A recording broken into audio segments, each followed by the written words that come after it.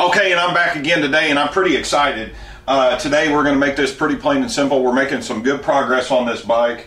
Um, we're going to remove the fuel tank.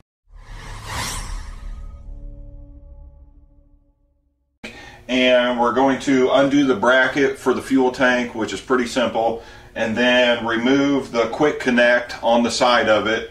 And then I'm going to actually undo the bottom bolt off of the fuel pump because this bike has a fuel pressure regulator on it to adjust the fuel pressure, the evolution system, and I'm not 100% sure how that's um, bolted on there or how to adjust that properly. So the last owner of this bike did tell me that this bike ran, and when he was riding it, it quit running when it crapped the fuel pump out of it. So I don't want to mess with the pressure. Whatever he had it on, uh, set on, we're going to go ahead and try to get it running at that setting um, because the bike will run. If I start messing with it and I don't know what I'm doing, the bike won't run at all. So we'll go ahead and get started and remove this fuel tank and then uh, hopefully get it over to the bench and undo the fuel pump and then I will do a fuel pump rebuild video on rebuilding the, the fuel pump in. And I have an extra uh, fuel pump off another Mille that I have that I do know is good. I have tested it so I'm kind of weary on using this off-brand fuel pump. So when I get this pulled out, because this is a 99 model,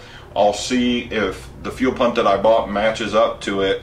If not, um, I'll pull apart the other one, which was a 2002, and see if that fuel pump's the same, which that fuel pump should be the same. I think the housing and the bottom of the tank uh, was designed a little different. I'm not 100% sure, but we'll figure it out. Uh, that'll be another video on rebuilding the fuel pump, but yeah, making some progress. Super excited.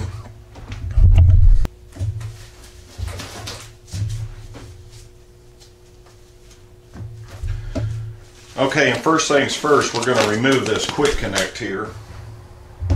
And this gas tank does have fuel in it, so I'm going to try to avoid as much fuel loss as possible. But once I disconnect that other, uh, once I disconnect that other fuel line, which I wish had a quick disconnect, uh, it's going to leak fuel. So, and it's this line here.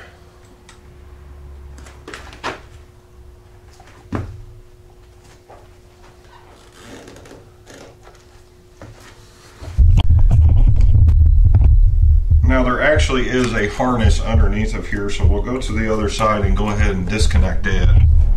Well, you ain't gonna believe this. Uh, he actually I did not even check this when I bought the bike or looked at it. He has got the fuel pump disconnected. I'm going to try to turn this key over and see what this fuel pump does.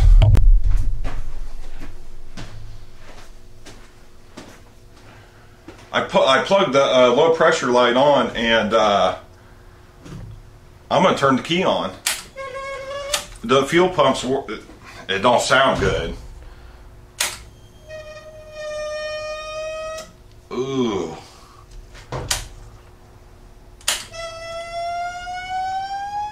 It's building pressure. You can hear it. And then it just stopped. I have no idea.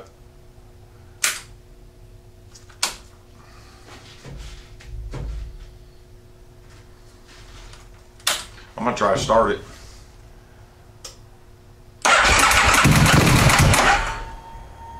Whoa.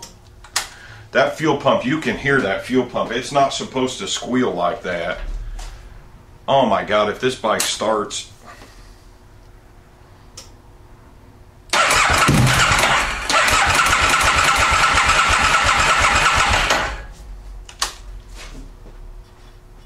Let it set a minute. It's the fuel pump fuel pump isn't.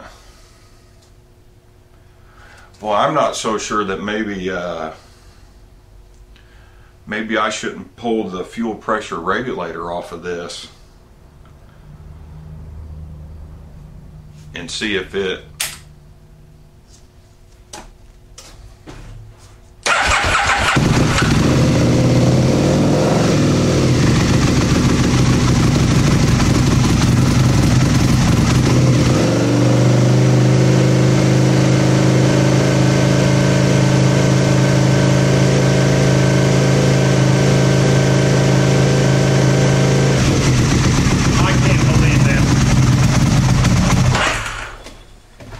cannot believe this thing started up.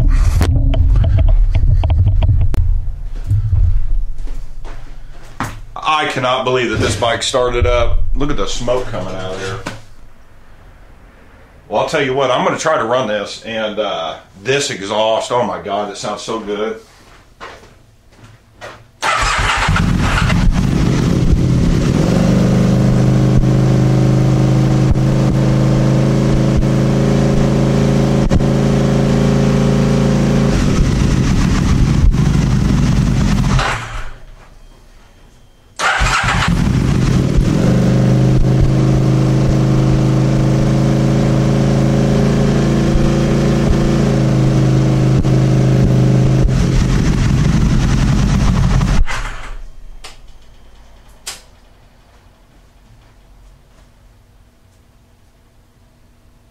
Huh.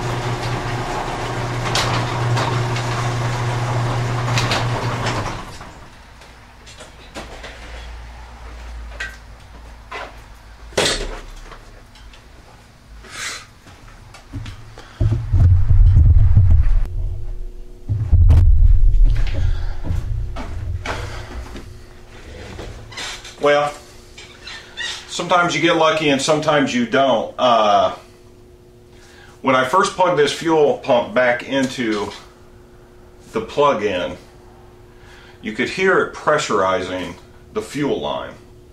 I'm not, and, and you could hear the fuel pump winding. Now there wasn't very much fuel in this, but it has to create pressure within the line to to fire up. Um, now that I turn the key, that fuel pump sounds normal. Um, the bike doesn't want to idle where it should idle between 8 and 1200 RPM. So I turn the idle up to 2000 and the bike will continue to run. So um, I think the best thing to do here is I actually have a extra set of throttle bodies here and I think what we'll do when I get some extra time here is I'm going to put the original fuel pressure regulator and the original nut and copper washers back on this and remove the fuel pressure uh, regulator system because um, I think it'll run. I'm not so sure that that fuel pump's I, I think that fuel pump's good. Now, I, I will tell you, when I pulled the I pulled the other relay off of the other bike over here in the corner and replaced the fuel pump relay there. And that fuel pump relay could be weak, and sometimes they'll blow and sometimes they won't blow, and they'll work until they get hot. And then once they overheat and get hot, they shut down. And then when they shut down, they cool off, and then they'll continue to run. So, yeah, I think I think I'm going to replace the. I'm going to put the original parts back on this bike and see if it'll just start and run. That exhaust system sounds wicked on this thing. Uh, if I can get this bike to run and just keep it how it is, I'm not so sure. Uh, I'm just not going to go do the title work tomorrow, but well, I'm going to go ahead and start this up and let this thing run for a little bit and see if it shuts off. And then if it doesn't shut off, then next video I'll replace all these other parts and I'm not going to touch that fuel pump. Uh, the fuel pump is kind of a nightmare to change on these because of the nylon tanks. If they swollen, getting them to seal back is, is just a nightmare. That's why he didn't fix it. But uh, another problem could have been he could have had some problems with the Evolution high voltage system with the spark plugs. Um, I don't know. That's why I pulled that stuff off and put the original plugs back on here. So I'm going to go ahead and fire this thing up again and let it run for a little bit. See if the fan kicks on. Let the engine get warm. Let it run. It ain't been running years. So, uh, and sometimes when they set for years, you'll find out what's actually wrong with it when you do get it running. So, go ahead and fire it up, see what it does.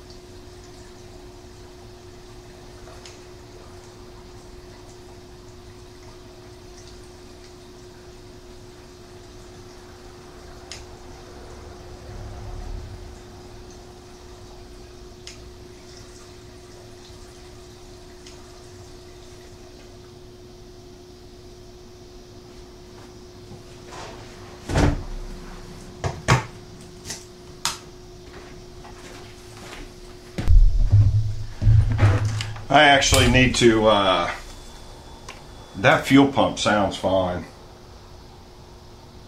Need to reset the, the dash.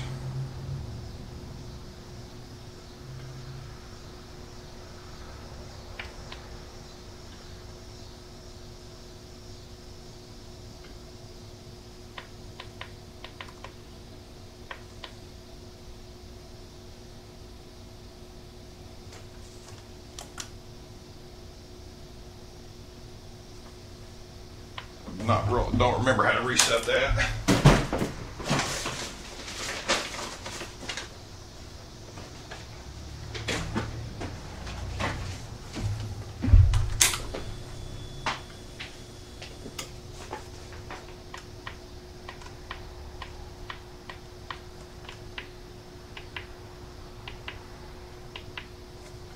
Turn the water temperature to Fahrenheit. There we go. and see if it starts.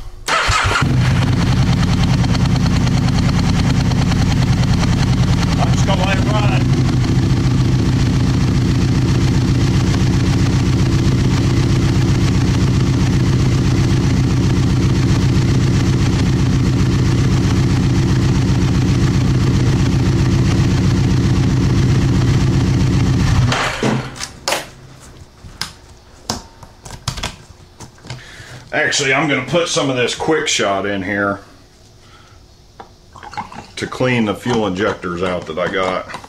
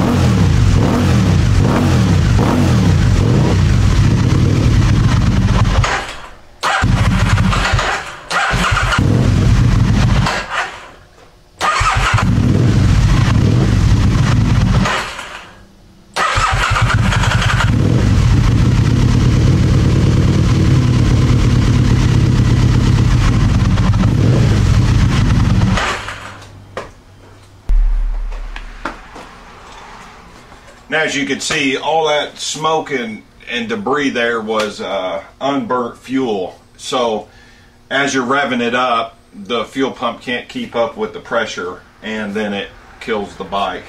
So, uh, maybe we will replace the fuel pump. But I am going to tell you this we're going to replace these other parts back onto this before we touch that fuel pump and see if that fixes the problem first. So, okay, well, at least this bike runs.